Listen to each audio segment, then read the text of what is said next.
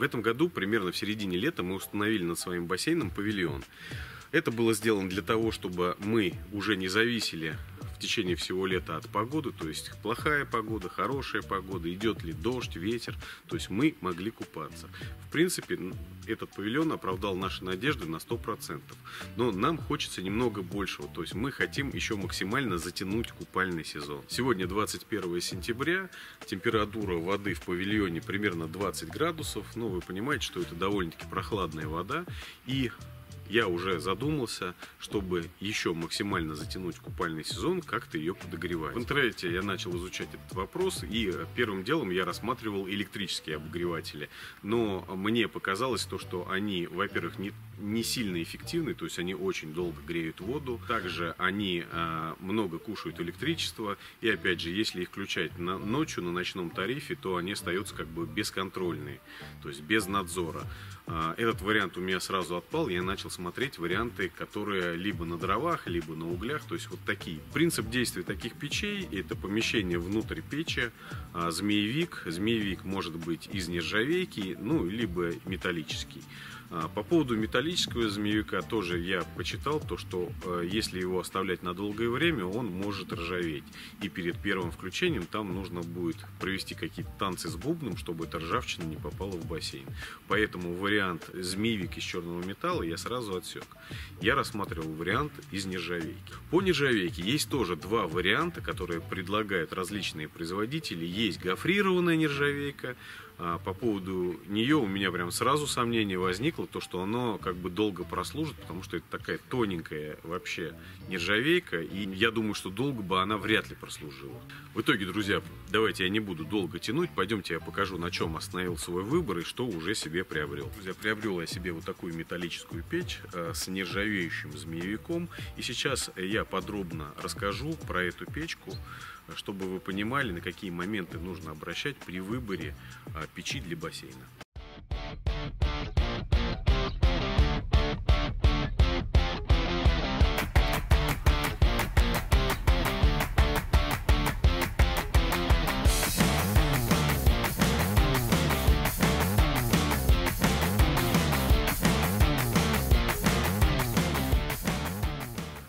Приобрел я себе вот такую печь. Называется она Gulfstream N Turbo. Буква N обозначает то, что в ней установлен змеевик из нержавейки. А слово турбо обозначает, что это старшая модель. Использовать ее рекомендуется для бассейнов объемом до 30 кубов. А, у меня бассейн 14 кубов, но я взял именно старшую модельку, чтобы сократить время нагревания воды. То есть она более эффективна. Чем же отличие между моделями? У младшей модели длина змеевика 12 метров, у этой модельки, у старшей 18. За счет разности длины змеевиков КПД старшей модели выше, чем у младшей. Ну и теперь давайте посмотрим, как выглядит змеевик. А, сразу скажу, что не пугайтесь, то, что он черного цвета. Змеевик выполнен из нержавейки, он покрашен термокраской. Это для того, чтобы увеличить эффективность нагрева. Подтверждение того, что это сделано из нержавейки, вот снизу можно посмотреть чуть-чуть не неудобно было, видимо, прокрашивать, вот она светленькая. И вот здесь вот специально производитель на трубе оставляет вот такой вот кусочек непрокрашенный. Это вот чтобы у людей не возникал вопрос, что это действительно нержавейка. Толщина вот этого металла полтора миллиметра. И буквально пару слов про комплектацию. То есть вот такой вот съемный дымоход, он примерно э, высотой 60 сантиметров два вот таких переходника. Они специально подходят к шлангам а, для бассейна. Они вот закручиваются вот на такие барашки. Два вот таких переходника с быстросъемными соединениями, то есть вот сюда подойдет любой садовый шланг. А также идут в комплекте два сертификата по 1000 рублей а, на покупку следующей пяти, то есть которые вы можете подарить своим друзьям. Я, кстати, свои уже раздарил. Для себя я приобрел вот такой вот дополнительный поддон-подставка. Вот у нас прошел сейчас дождь, и в нем стоит вода. А вот здесь я немножко доработаю, сделаю прорезь, ну, либо отогну, чтобы эта вода уходила. Ну, можно и не приобретать этот поддон, потому что а, если вы поставите на какую-то плитку, ну, это будет работать, в принципе, так же. А, сразу заказал вот такие вот переходники, это трехходовые. Для чего они нужны? Вот здесь установил на фильтр песочный и на бассейн. Наверное, те, кто слышал и знает такое название байпас, а, его делают, применяют как и в электрике, так и вот в водопроводе. А что это такое? Прям вкратце, простым языком постараюсь объяснить. Байпас нужна для того, чтобы, если вы хотите нагреть бассейн, все потоки вы пускаете через печь. Если вдруг вам нужно просто фильтровать бассейн, вы можете обходить печь и пускать ее, как она была раньше. То есть вот по малому кругу а, работает фильтр. Вы обратили внимание, то, что шланги здесь толстые, а у печи а, труба нержавейка, она тоненькая, там она 2,5 сантиметра. И за счет этого, естественно, напор будет ниже. И вот для того, чтобы при фильтровании не занижать напор, а, вы пускаете системой bypass напрямую, минуя печь. Также еще один момент. Если в холодное время суток, чтобы у вас не было обратной, обратного действия, то есть по змеевику не охлаждалась вода, то есть когда печь не работает, то есть на улице холодно, и получается через змеевик она ночью, допустим, фильтруется, проходит, она будет охлаждать воду. Вот эта система байпас, она вас тоже выручит.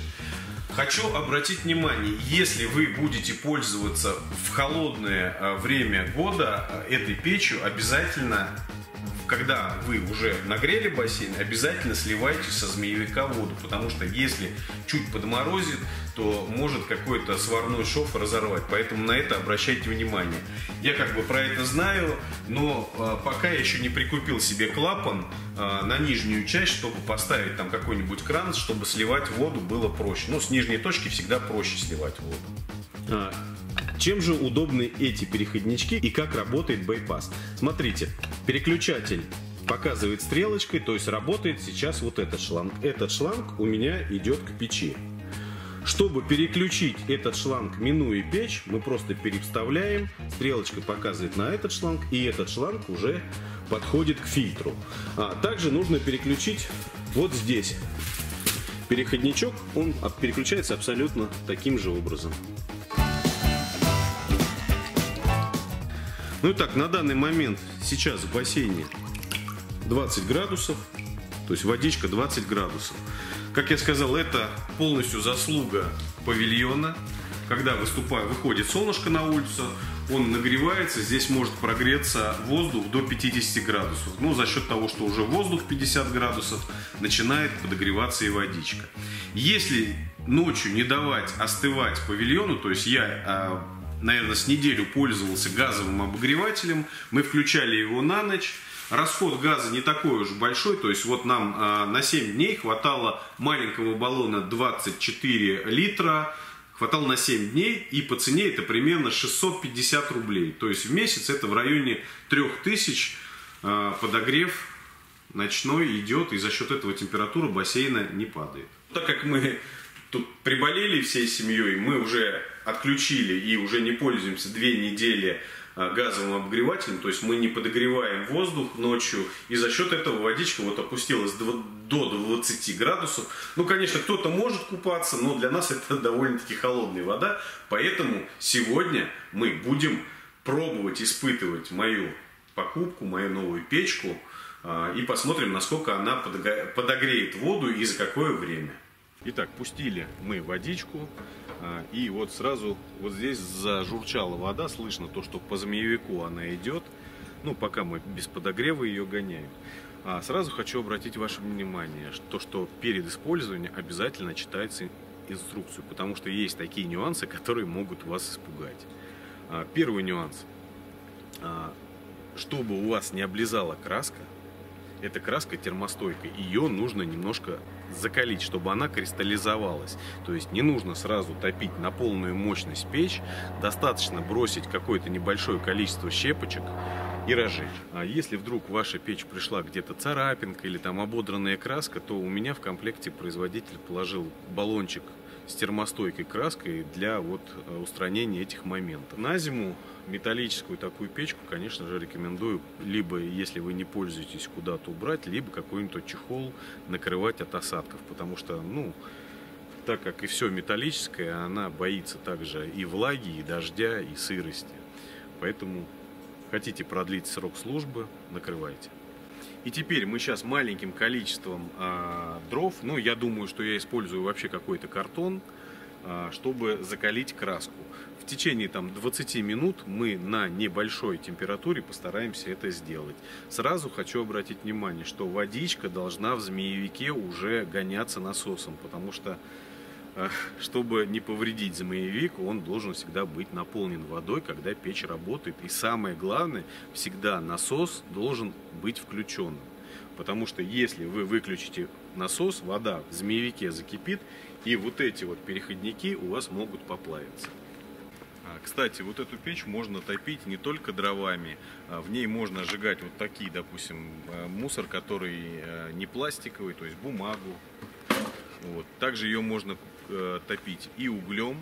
У нее под уголь специальный усиленный колосник, который не прогорит, даже если вы будете очень долго топить углем. Там такие мощные пруты, которые как раз рассчитаны именно под уголь.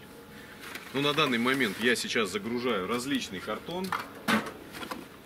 Вот, и с помощью его мы сделаем первую растопку печи. Отверстие для того, чтобы выгребать золу. И также можно вот при помощи горелки поджечь бумагу. Там он уже пламя сверху.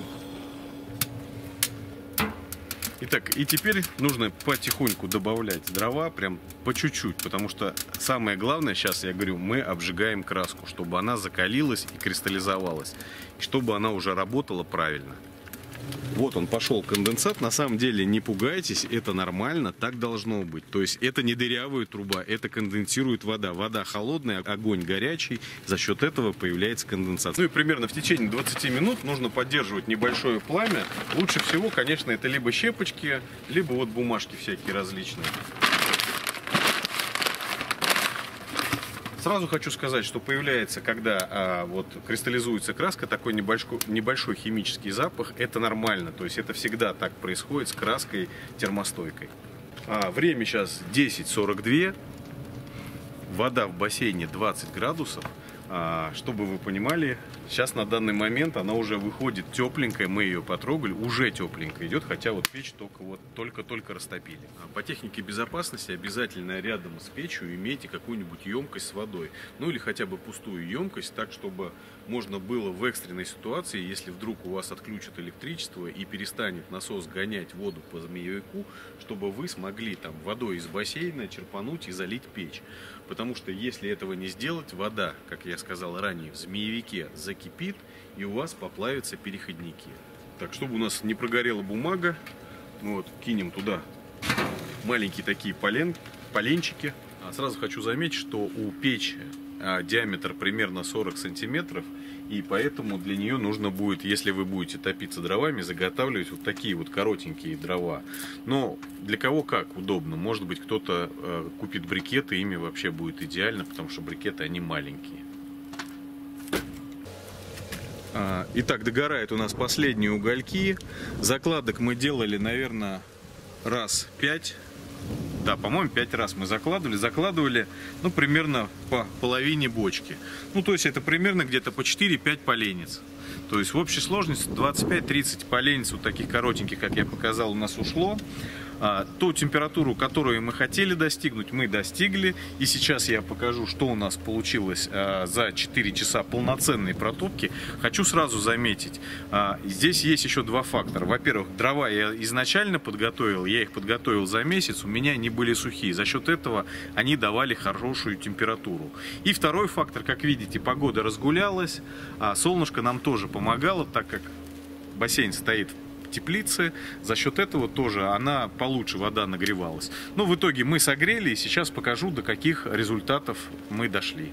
А, чтобы вы понимали, о чем я говорю, когда солнышко заходит, температура внутри павильона вот 40 градусов. А, допустим, 2 часа тому назад она была, э, ну, примерно 45 градусов. И теперь пойдемте посмотрим на градусник.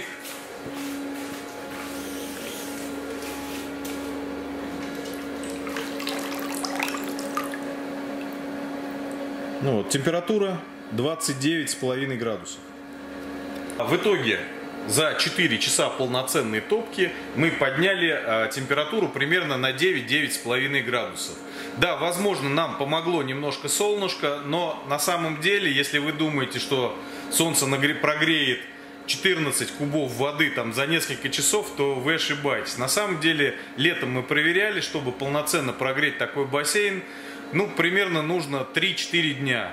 То есть вот солнышко его прогреет до такой температуры. Но солнышко у нас выглянуло, ну, я не знаю, часа, может, 3 назад. Вот за счет этого ну, то есть солнышко не сильно повлияло. Это, конечно, полностью заслуга вот этой печи. Ну и, друзья, в конце хочу напомнить, что соблюдайте технику безопасности и печь когда у вас полностью только прогорит, то есть не останется никаких дров, никаких углей, только после этого можно выключить насос. Еще раз повторюсь, то, что ни в коем случае не должна печь гореть при выключенном насосе. А, печь начала выглядеть немножко по-другому, а, то есть краска на ней кристаллизовалась, она стала а, немножко черно-серого цвета с таким белесым оттенком, нигде она не отвалилась, нигде ничто не шелушится, то есть она абсолютно выглядит нормально. Но единственное, опять же, хочу заметить, это если вы все правильно сделали. То есть изначально не, не дали большую температуру, а потихонечку закристаллизовали краску, чтобы она не осыпалась. Теперь печью можно пользоваться, то есть в следующий раз, уже в следующий раз, когда вы будете топить и греть воду в бассейне, уже просто загружаете, поджигаете, не нужно ничего закалять, то есть просто топите ее спокойно. Итак, друзья, сегодня 5 октября. Я специально подождал еще недельку, чтобы вам показать действительно, как полезна эта печь и как она работает. Сейчас мы зайдем внутрь и посмотрим, какая температура воды. Сразу хочу заметить, что эту печь мы топим через день. Как раз за ночь а, у нас опускается температура где-то на 2-3 градуса, и на следующий день мы ее будем опять топить. То есть сегодня потопили, завтра не топим, послезавтра опять топим. И хочу посмотреть, насколько же можно затянуть купальный сезон. Вот по факту мы его уже затянули почти на 2 месяца. То есть практически все уже в 15-20 числах августа уже никто не купался. Мы по-прежнему купаемся почти каждый день. Печь работает. Итак, в бассейне сейчас, вот покажи то, что в бассейне сейчас, ну почти 25 а, естественно, для нас это все равно прохладненькая водичка, то есть мы еще часика два печь потопим. Внутри павильона у нас сейчас 26 градусов. А, на улице сейчас плюс 15 градусов. Вчера погода была примерно такая же. Ну и сразу скажу, что вот в, э, в тандеме павильон и печка это очень хорошо работает. И мы добились того, чего хотели. Мы максимально затянули купальный сезон. И думаю, что в следующем году мы его тоже начнем довольно-таки рано. Я, конечно, рассчитываю, что мы его начнем ну, в середине, примерно в середине апреля. А чуть позже я сниму коротенький ролик с видеоотчетом, насколько мы максимально смогли затянуть купальный сезон. Если вам эта информация будет интересна, подпишитесь на мой канал, если вы еще не подписаны. Ставьте лайк, подписывайтесь. А на сегодня у меня все. Всем пока.